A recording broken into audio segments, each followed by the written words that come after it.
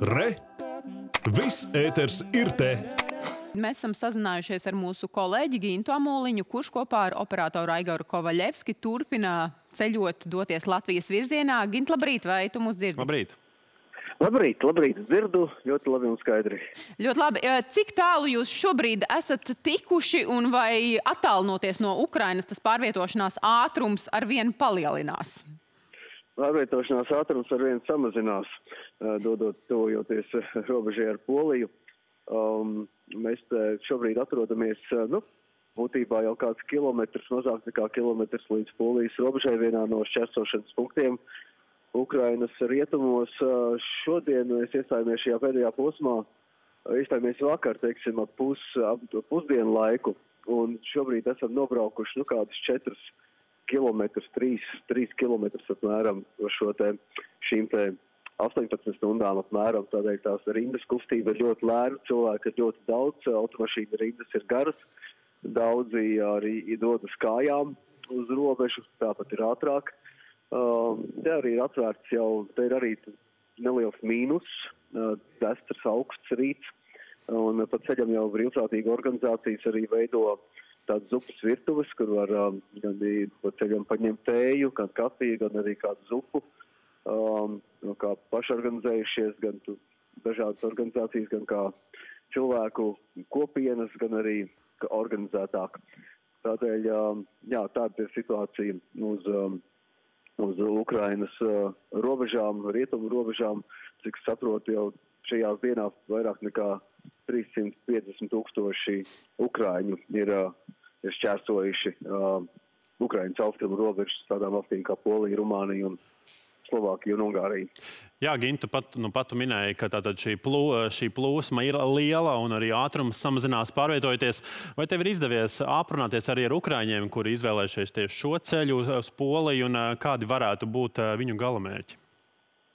Jā, nu, gandrīz visiem, visās automašīnās, kas šeit ir, ir bērni, tās ģimenes ar bērniem, kas cenšas nokļūt izkļūt no Ukrainas šajā situācijā un pārsvarā visi cer, ka varbūt pēc nedēļas, pēc divām varēs atgriezties jau valstī, ka tā situācija būs mainījusies uz labo pusi. Uh, un uh, daudziem, daudziem tur ir, tur ir radi vai tur ir paziņas, teiksim, pārsvarā, teiksim, Polijā. Uh, daudz, daudz Ukraiņu strādā Polijā. Uh, Ukraiņi šķiet ir uh, Tagad jau ir uh, lielākā, lielākā tāda kopiena minoritāte uh, tieši Polijā, ņemot vērā, ka daudz, daudz strādā īpaši Polijas, uh, tos darba gaitās īpaši Polijas um, dienvidu austrumos. Līdz ar to daudziem tur ir paziņas vai paziņu paziņas vai radinieki vai draugi, pie kuriem var apmesties un, un lielai daļai cilvēku, kas šobrīd stāv rindās vai ar kājām dodas uz robežām Uh, mēģis ir plāni ir šādi. Uz, uz kādu laiku apmesties pie draugiem paziņām, cerībā, ka uh, situācija normalizēsies un, un tas, tas kara, uh, kara, kara ēna atkāpsies no Ukrainas. Mm -hmm. Tu jau minēji šīs zupas virtuves un šo palīdzību. Latvijā pēdējās dienās izskan informācija, ka ir ārkārtīgi svarīgi, lai šī palīdzība būtu koordinēta, lai nerastos lieks haoss.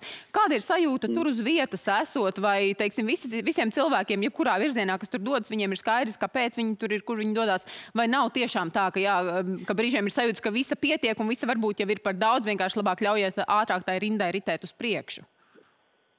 Pat laban, nu, teiksim tā, pat laban rinda vispār nerit uz priekšu, uh, automašīnu rinda. Uh, jo, nu, mēs esam nostāvējuši stundu un vispār nav bijusi nekāda kustība uz priekšu. Es nezinu, kādiem iemesliem. Uh, rinda kustās ļoti lēni. Un uh, zupas virtuves uh, šeit noteikti haosu nerada. Uh, tur ir atkarībā, kurā vietā tas ir. Tur mēdz būt, ka ir vienkārši piebrauc busiņš, atver durvis, uh, konkrētā posmā un vai paši staigā un izdala tēju. Uh, tad ir šeit, ir, šeit ir atkal pie pašas robežas jau ir organizētāk, te ir āra tā āra lauka virtuve, skaldīta malka tiek kurināts tā, tā krāsmas un, un tiek sildīta gan tēja, gan zupa, te jau ir pašiem jānāk klāt, te tā organizētāk. Bet ir arī tāda cilvēku grupiņa, kas sametušies um, un, un braukā paši apkārt busiņu un, un lej cilvēkiem tēju vai kādu boršu. Tā kā, nu, pagaidām, pagaidām liek haosu, tas noteikti nerada. Un, un noteikti varētu, varētu būt pat vairāk šādu iespēju. Jā, nu ko, paldies. Paldies, Gint, par aktuālo informāciju un uh, vēlam turpmāko drošu ceļu arī jums. Jā, droši un pēc Paldies. iespējas raitu. Paldies! Paldies, Gins Amoliņš un. Aigars Kavaļevskis ziņoja no pierobežas Ukrainas robežas.